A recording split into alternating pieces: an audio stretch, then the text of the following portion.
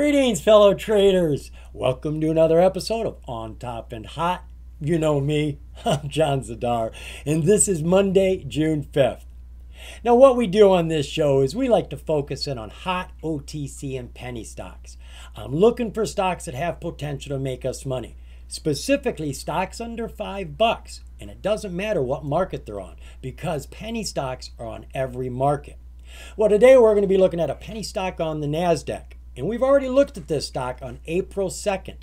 This is Dragonfly Energy Holdings, ticker DFLI. Now, I really like this stock for a long hold. She's in a hot sector. She's in the green energy sector making electric batteries. She just came on the market October of last year, but she's been in business for years and making good revenues. Well, she caught my attention again. Yeah, she does have new news and new filings, which we'll catch up with, but that's not what caught my attention. You know me, you know where I do my research, the charts. The chart caught my attention, but not for any reason that most charts catch my attention. She does have an inkling of a breakout. I can see that there, but what caught my attention was a subtle technical that has been building up over the last two weeks called a divergence. This is normally a very reliable technical that you can count on for a reversal on the chart. And since the price has been falling ever since we looked at it, sad to say, this is a good time to look at it. This could pop and pop strong. So DFLI, she finished today at $2.74 and almost 3% gains. Now, since we've already covered this stock in one video, I went into a lot of information on that. I'm not going to rehash all of that, but I will catch you up on what has happened since we looked at it. Now, let's refresh your memory on what the company does do. First, right off the bat, there's two things you need to know about Dragonfly. One, she is not just a battery company. Calling Dragonfly a battery company is like calling your house a brick because you used bricks to build it. They're just using the batteries to build up to what they want to be. The second thing is they are vertically integrated. Now, this is really important, especially in their line of business where they are dependent on supply of materials. They have actually got their own mine. They made a deal back in 2020 before they were on the market, and they are starting the mining right now in 2023, and it's in their own home state, Nevada. How convenient is that? So they're going to mine their own lithium, process it, make their own batteries, sell them, install them, and create these power banks, these green storage units that we're going to be able to have at our own homes, our own businesses. Then they're going to connect all of those into a smart power grid, and that connects to the electric company. And if the electric companies ever have a problem, they will be able to rely on the extra power out here so none of us suffer. And I'm sure we're going to need them. Think about it, folks. If we all go to electric cars and we plug them in to charge them, are our electric companies going to be able to handle all of that on top of what we're already using? I don't think so. I think we need new solutions, and this is their plan. Now, their most recent description out of their most recent news press says that Dragonfly Energy Holdings is headquartered in Reno, Nevada, and they are a leading supplier of deep cycle lithium ion batteries. Dragonfly Energy's R&D initiatives are revolutionizing the energy storage industry through innovative technologies and manufacturing processes. And if you're interested, they've got lots of information on their website. Their most current financials just chock full of information. Yeah, about this sort of stuff. And there's a good amount of it on my video as well. Today, Dragonfly's energy non toxic deep cycle lithium ion batteries are displacing lead acid batteries across a wide range of end markets, including RVs, marine vessels, off grid installations, and other storage applications. Dragonfly Energy is also focused on delivering energy storage solutions to enable a more sustainable and reliable smart grid through the future deployment of the company's proprietary and patented solid state cell technology. And that right there, folks, a solid state cell technology is the golden egg from the goose. This is what everybody wants. We haven't got it yet. Lots of people are getting close. They are very close. They just put in a patent for it. What's a solid state? Well, solid state mean it has no moving parts. They're less expensive to make, but most importantly, they don't explode. They don't catch fire. That's what everybody really wants, and they are working towards that right now. So they are working in a lot of different industries, but they are primarily working on those power grids across the nation. All right, let's go take a look at that relative volume. Well, looks pretty good, like uh, a 100% jump there from 187,000 to 384,000. Now, I'm not saying those are big numbers, they're not super impressive, but she is getting more attention and the price is rising. So all is good. Speaking of all is good, her share structure. She's got 46 million outstanding, and 62% of those shares are owned by the insiders. They really believe in this company, and why shouldn't they? Well, that leaves 9.3 million in the float. An excellent float, folks. A legitimate low float. 9.3 million. Financials for Dragonfly. Well, as I said, the company has been making money even before they got onto the market. Here in 2021, they did $78 million. At the end of 2022, they did $86 million. And we do have their most recent quarterly report, which just came out here in March. They did roughly $19 million. Now, I had a strange deja vu moment when I was looking at this page because in my mind, I remember seeing something here. So I actually went back into my video, and sure enough, right there for December 2022, they say they did $20 million. Well, you can't take it back once it's out there. So wherever it went, I don't know. But we know they did 20 million in December and they did about 19 million here in the March quarter. Looking at the disclosures, they have had a variety of disclosures. Most of them I don't consider most important to share with you. The one I do think is important, actually the three right here, these have come out in the last month. The 424B3 twice and the S1. This S1 is huge. It is well over 100 pages. They are a prospectus. That means they're considering putting shares on the market. How many? Took me a while to find it in this 100 page one. About 23 million as far as I can tell.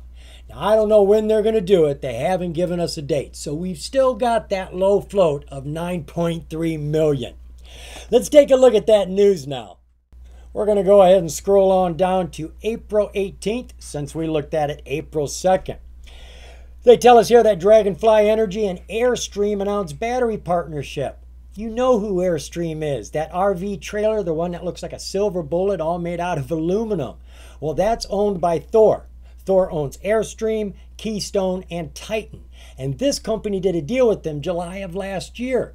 They are now supplying the batteries for Keystone and Airstream. Plus, Thor invested $15 million into this company. I think they're tight. They're going to be together for a while. Then we've got three other pieces of news here. All pretty much came out in the last month that I want to tag into. First one here came out May 9th. Dragonfly Energy and Ioneer signed lithium supply agreement. Ioneer is the company that they did the deal with back in 2020 for the lithium mines. They tell us here that the company today announced a commercial offtake agreement that the company believes will strengthen the U.S. battery supply chains and invest in the production and manufacturing of Nevada sourced lithium.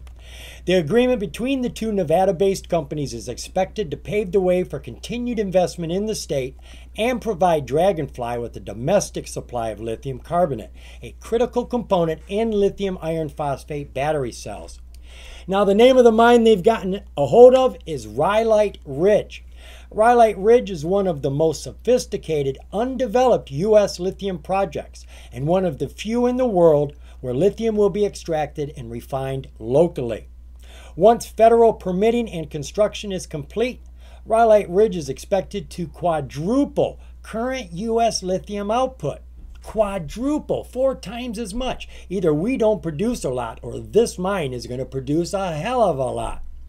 The agreement also moves Dragonfly Energy closer to achieving the company's mission of establishing a vertically integrated lithium battery cycle from mining to cell and pack production to recycling.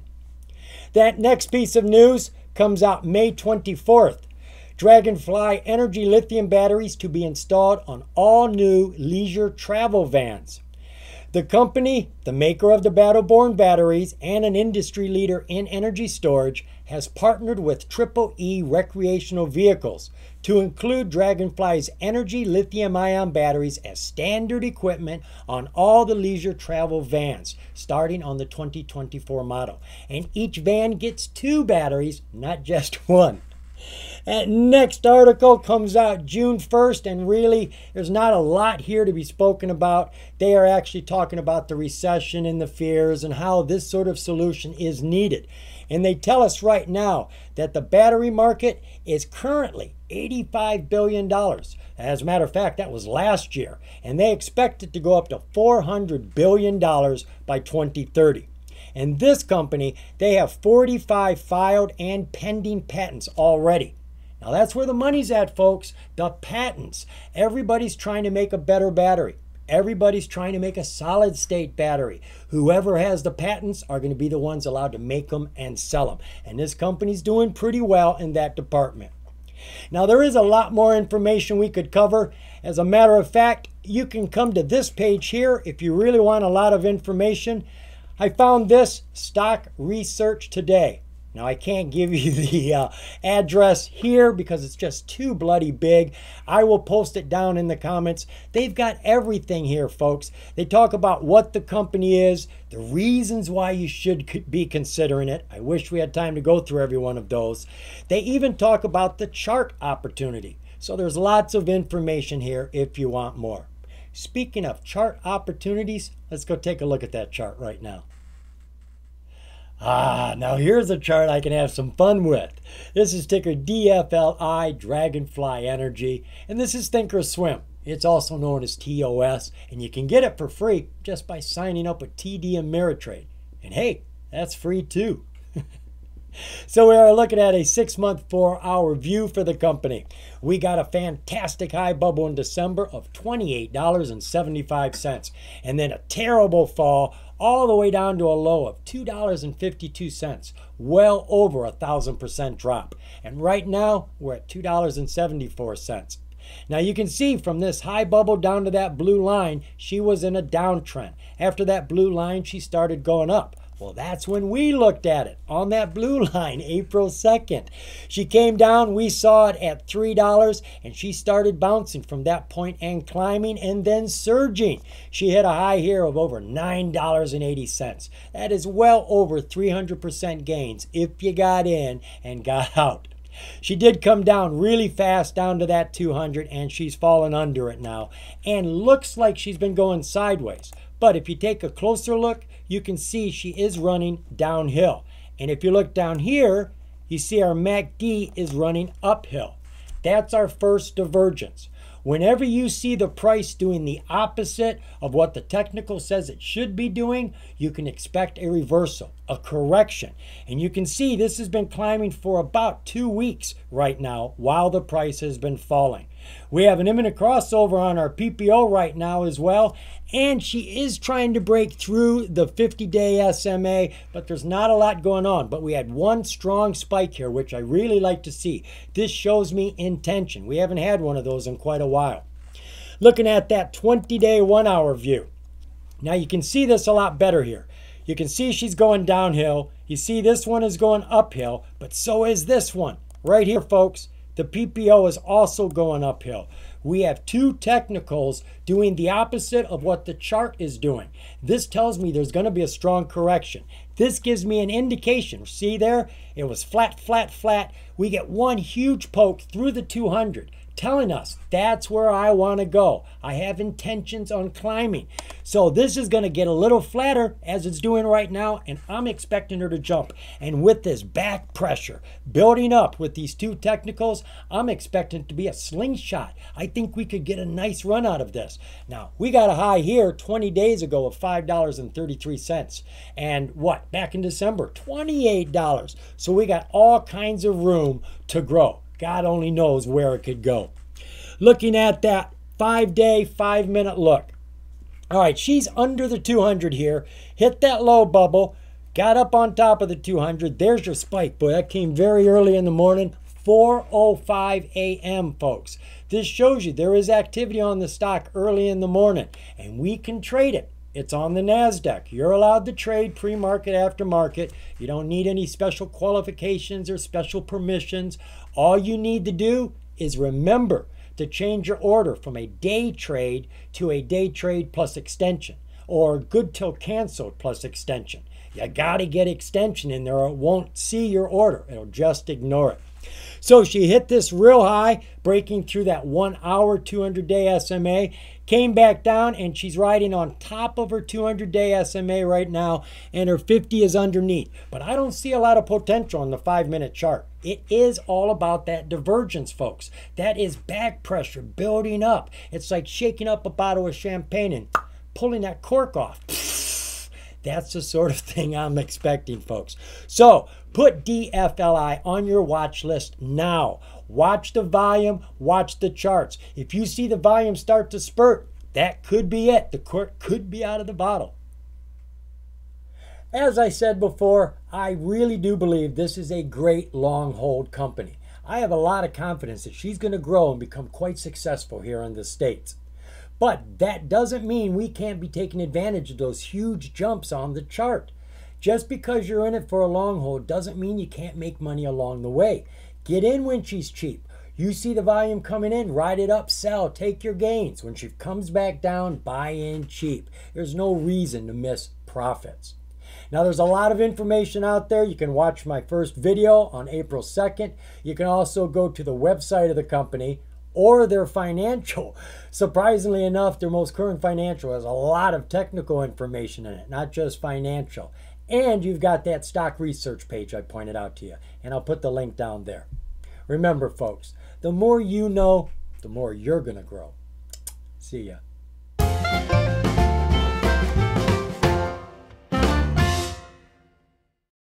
para pa para para pa pa para para pa para para